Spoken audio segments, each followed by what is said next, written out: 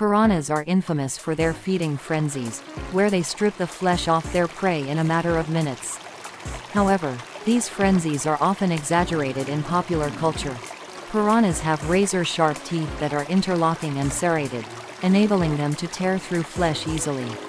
They continuously grow throughout their lives and are constantly sharpened by the fish's habit of grinding them together.